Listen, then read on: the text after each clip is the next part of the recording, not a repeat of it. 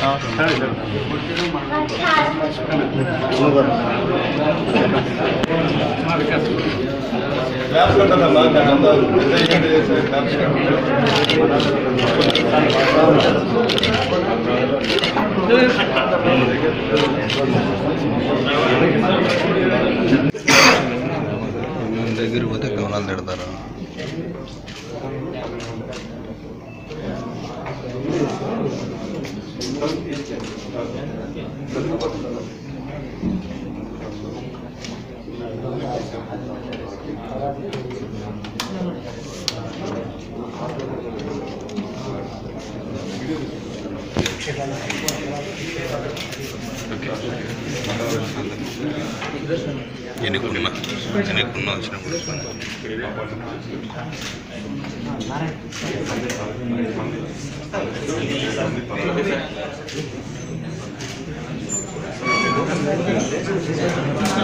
నేరస్తుడు చిన్నప్పటి నుంచి కూడా ఈ పిక్ ప్యాకెట్స్ అవి చేసుకుని ఈ నేరాలకు అలవాటు పడ్డాడు. తర్వాత ఇతనికి చాలా అప్పులు ప్రా అప్పుడు పాలైతే నిజామాబాద్ ప్రాంతంలో ఒక అమ్మాయిని ఇతను పెళ్ళి చేసుకున్నాడు. అక్కడ భార్య బంధువులు ఇచ్చిన సలహా మేరకి ఎవరన్నా పిల్లల్ని కిడ్నాప్ చేసి తీసుకొచ్చి మాకు అమ్మేస్తే మేము మీకు డబ్బులు ఇస్తాం నీ అప్పులు కూడా తీరిపోతాయని అతను సలహా ఇచ్చారు. రాజు అని చెప్పేసి వాళ్ళ రోజు రిలేటివ్ నిజామాబాద్ సంబంధించిన రాజు. అతని సలహా మేరకు వచ్చి ఇక్కడ ఈ పిల్లల్ని తీసుకెళ్ళడం ఈ హైదరాబాద్ ప్రాంతంలో రాజుకి దాదాపు లక్ష లక్ష రూపాయలకు ఒక్కొక్క బాబుని అమ్మివేయడం జరిగింది. ఈ నిజామాబాద్ సంబంధించిన రాజు వీళ్ళందరూ కూడా ఈ ప్రొఫెషనల్ ఇంపాక్టర్స్ వీళ్ళందరూ కూడా. ఇట్లా పిల్లల్ని తీసుకొచ్చేసి చిన్నపిల్లల్ని వేరే ప్రాంతాలు తీసుకొచ్చేసి వాళ్ళని వేరువేరు ప్రాంతాల్లో ఇచ్చి ఉంచేసి వాళ్ళని పిక్ ప్యాకెటింగ్ అలవాటు చేయడం ట్రైనింగ్ ఇవ్వడం కొద్ది రోజులు వాళ్ళని బాగా అమ్మల గురించి వాళ్ళ ఫాదర్ మదర్ గురించి ఏమీ గొడవ చేయకుండా వాళ్ళని బాగా చూసుకొని వాళ్ళ బొమ్మలు ఇచ్చి వాళ్ళ మీద ప్రెజర్ పెట్టకుండా చదువుకోవడానికి అంటే ప్రెజర్ పెట్టకుండా వాళ్ళకి ఏది ఇష్టమైతే అది చేయించి స్లోగా ఆ పిల్లల తల్లిదండ్రుల గురించి వాళ్ళని మర్చిపోయేటట్టు చేసి వాళ్ళకి పిక్ ప్యాక్ ట్రైనింగ్ ఇవ్వడం జేబు నేరస్తులుగా మార్చడం అనేది వాళ్ళ ద్వారా ఆదాయం సంపాదించడం అనేది వీళ్ళ ఎంఓ. ఈ క్రమంలో భాగంగా ఈ వికాస్ని మొదట కిడ్నాప్ అయిన వికాస్కి నాని అని పేరు మార్చారు. పేరు మార్చి అతను హైదరాబాద్లో కొద్ది రోజులు ఉంచారు. జైనుల్లాకి చందు అనే పేరు మార్చి ఇతన్ని డోన్ ప్రాంతంలో కొద్ది రోజులు ఉంచారు.